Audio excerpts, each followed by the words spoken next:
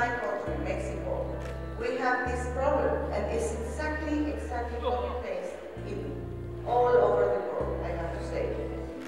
It's only about education, as Mandela said. Education, education, education, education. This is the, the key point for us. The, uh, when, when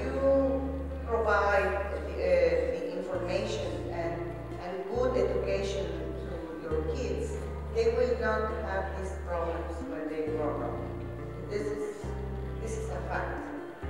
So um, uh, in Mexico, and uh, I, am going to Ecuador, I told you, uh, next month, and uh, Panama, Argentina, all Latin America, we have the same problem that Africa. And if you go to Europe, you will find also this problem. That people keep quiet because really they don't want. Sometimes they say it's a shame, sometimes they say, well, you know, it's not a big issue, and they just suffering all their lives. And uh, traveling all over the world, I find out something very, very, very important for me. We have machos all over the world. It's not only in Mexico. I grew up thinking that macho is only in Mexico. Macho Mexicano. Machos in, in, uh, in um, Australia, New Zealand. Please explain machos. Macho is like masculine, very, like very brave,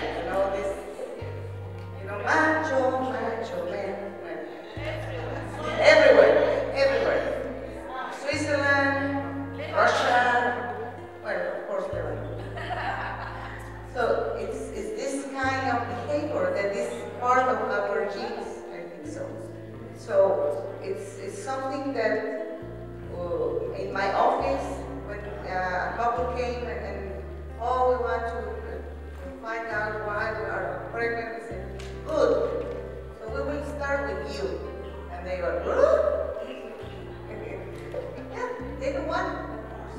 Because why we, I will spend so much time review and having tests with my patient when it's only one, one test for me. So what? Very cheap. So this is the point for me that we have to, to uh, have a better education. We have, as NGOs, in many, many countries, we have a free time in the medium. As a beauty, they start uh, a channel, a TV channel, or radio, ch radio channel, that they didn't promote it. So look for this free time for NGOs and universities in your local media or national media so you can promote campaigns to avoid this kind of problem. They will never tell you that they can give it to time. So this is, and I hope so that we, we can uh, uh, do a very good campaign for Latin America and, and other countries. And as a doctor,